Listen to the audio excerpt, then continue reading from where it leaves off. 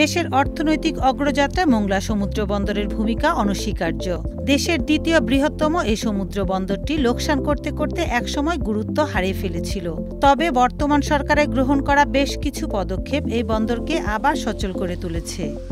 Total চব্বিশটি জেটির মাধ্যমে মংলা বন্দর পরিচালিত হবে। এছাড়াও আরও ভবিষ্যতে আরও নতুন নতুন টার্মিনাল এবং জেটি তৈরি হবে এবং এতে আমাদের যে এই অত্র অঞ্চলের লোকের জীবন জীবিকার মান উন্নত হবে এবং আনুমানিক এক হাজার লোকের কর্মসংস্থান এখানে করা সম্ভব হবে, যা দেশের জিডিপিতে ইতিবাচক ভূমিকা রাখবে। ইতোমধ্যে মংলার বিভিন্ন চ্যানেলে নাব্যতা ফিরিয়ে আনতে ক্যাপিটাল ড্রেজিং করা হয়েছে।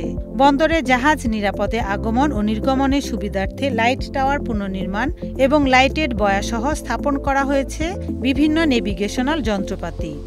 আমাদের নিজস্ব ড্রেজার আছে যেগুলো দিয়ে আমরা বিভিন্ন স্থানে নাব্যতা হ্রাস পেলে সেটা তাৎক্ষণিকভাবে সেখানে ড্রেস করে নাব্যতা রক্ষা করা যাচ্ছে। নাব্যতা সংকটের জন্য জাহাজ যেতে পারতো না সেখানেও আমাদের ড্রেজিং করা হয়েছে এখন সেখানে গভীর ড্রাফট সম্পন্ন জাহাজ যাচ্ছে।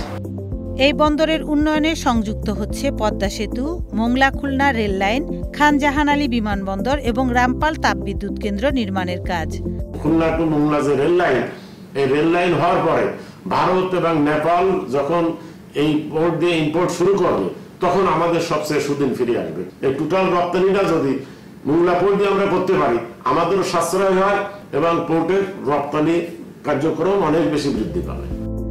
আর এই সব উন্নয়ন কর্মকাণ্ড বাস্তবায়িত হলে খুব শীঘ্রই মোংলা বন্দরটি পরিণত হবে বিশ্বমানের বন্দরে।